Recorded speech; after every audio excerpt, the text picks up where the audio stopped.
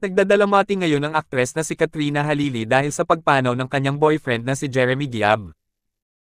Si Jeremy, dating vice mayor ng WAO, Lanao del Sur, ay sumakabilang buhay noong linggo ika-28 ng Enero taong 2024, siya ay 53. Ayon sa impormasyong nakalap sa isang social media post inatake sa puso si Jeremy sa tahanan ni Katrina sa New Manila, Quezon City, isinugod siya ng aktres sa street. Lux Medical Center, Quezon City, at dito idineklara ang kanyang pagpanaw. Hindi pa nagsasalita si Katrina tungkol sa pagkawala ni Jeremy pero ibinahagi niya sa pamamagitan ng isang post ang matinding kalungkutang nararamdaman. Aniya, ang daya mo love sabi mo aalagaan mo kami ni Katie bakit iniwan mo kami, caption ng kapuso actress sa larawan ni Jeremy na nakatalikod. Si Katie ang anak ni Katrina sa singer na si Chris Lawrence, sa gitna ng kanyang pagluluksa, umiral ang profesionalismo ni Katrina dahil nagtaping pa siya sa naka.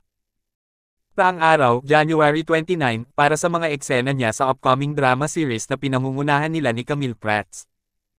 Nagpost din ng mensahe sa social media account sa Quezon City 3rd District Councilor Don De Leon tungkol sa pagpanaw ng kanyang best friend na si Jeremy, kalakip ng mga larawan nito. Mensahe ni De Leon, my best friend, my brother, my confidant and partner.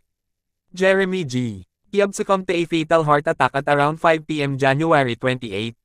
A precious life gone too soon.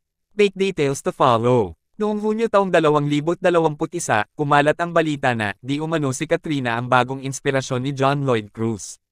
Pero pinabulaanan ito ng ilang mga taong malapit sa kanila.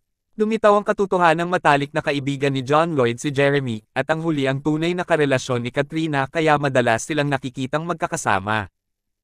Si John Lloyd ang isa sa mga nakiramay sa naulilang pamilya ni Giab sa pagbisita niya sa unang gabi ng burol ng kaibigang nakalagak ang mga labi sa isang funeral chapel sa Quezon City. Live interview naman ni Katrina noong November 2023, sinabi ng aktres na magiging masaya siya kung si Jeremy na ang makakatuluyan niya, saad niya, too early, happy naman ako kung siya. Kasi kung siya kasi, komportable ka, di ba? Yun naman yung importante and yun din naman ang winish ko, parang may companion ako, na hindi ako naiilang, or nagagawa ko pa rin ang gusto ko. Hindi ko binabago ang sarili ko para sa'yo. Eto pa rin ako. Masaya rin daw siya sa piling ni Jeremy dahil walang sugar coating. May companion ka, may kasama ka. Para akong may kapatid, para akong may all-in-one. Please comment like and share. Don't forget to subscribe and click the notification bell para sa susunod ko may upload na video.